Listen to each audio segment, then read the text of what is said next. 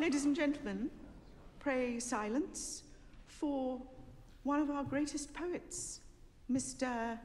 Siegfried Sassoon.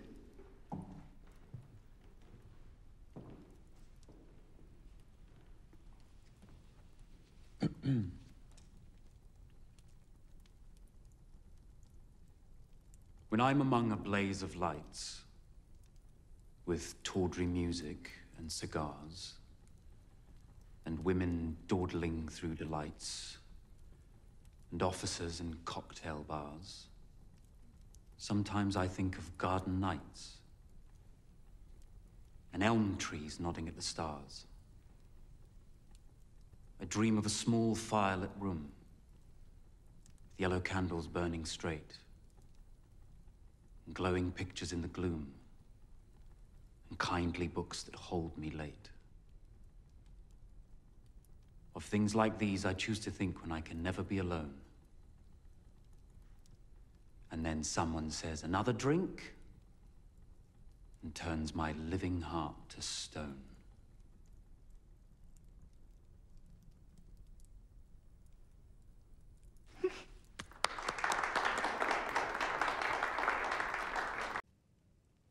Give me your hand, my brother.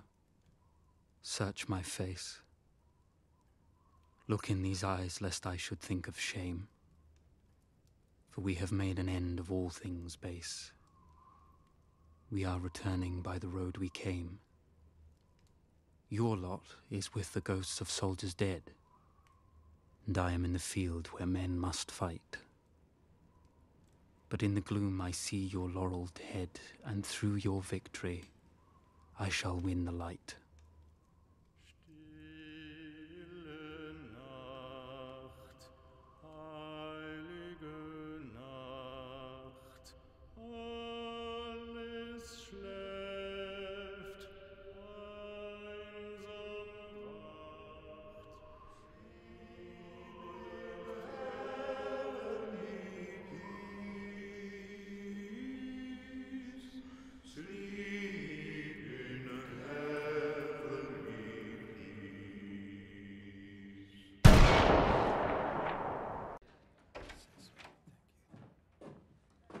Telephone me in a couple of days, won't you?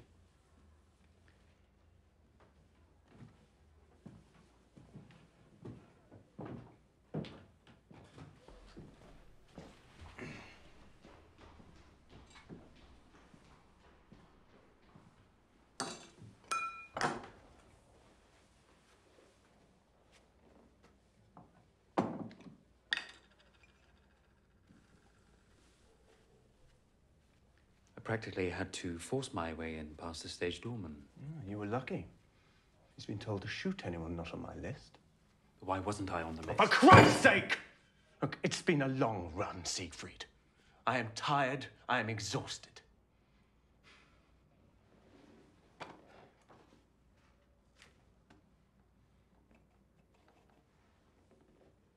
still want supper? Yes!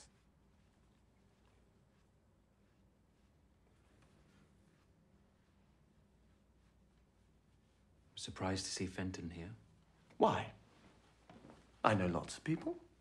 Fenton is just another Admirer. fan. Both seem to me to be very friendly after so short an acquaintance. You know, I get the distinct impression that I'm being grilled and that a storm in an egg cup is brewing. I'm sorry, I don't mean to be petty, but I. I am very jealous of you. Yes, well, affairs are always messy. Who can know the secrets of a human heart? Usually the people who don't have one. Well, my, my, hasn't it gone chilly in here? But I love you.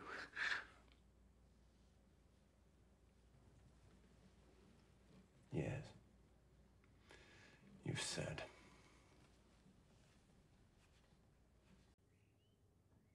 Are you still very angry? What do you expect? You ended our relationship with a letter from your doctor.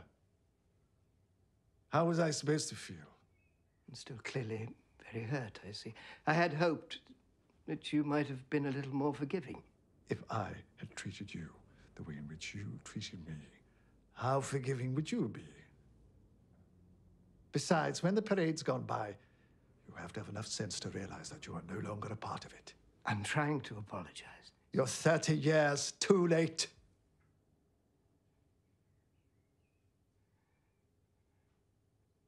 Can't we still be friends? No. You once meant so much. Now you mean so little. See, Don't trivialize it by saying something glib. can I see you again in London, perhaps? No. I rarely go to London now.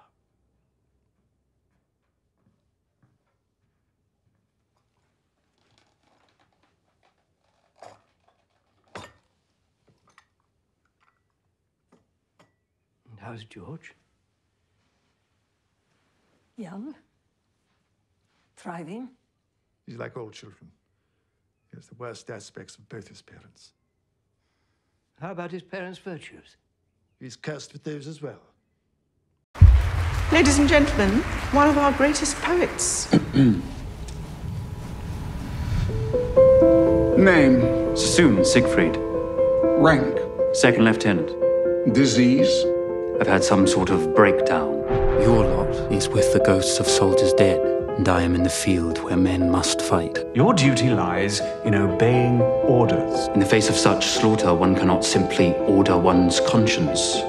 Good morning, Doctor. We have a house magazine. I'm sure it would welcome a contribution. Well, I'll try to write something light and amusing. There's no need to go that far.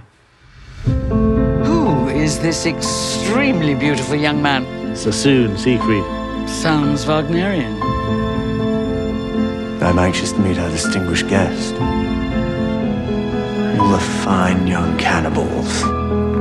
What should I do about my hair? Have you considered topiary? It's one of the inconveniences of the shadow life we lead. Friends may come, friends may go. Enemies are always faithful. Life goes slowly on. Trying to understand the enigma of other people. You're going to marry her? If the intention wasn't pure, I don't think I could go through with it. Purity is like virginity. As soon as you touch it, it becomes corrupt. Too afraid. Too inhibited. You're not alone. My whole future could depend on you. All my life, I feel as though I've been waiting for a catastrophe to happen. Most people live for the moment.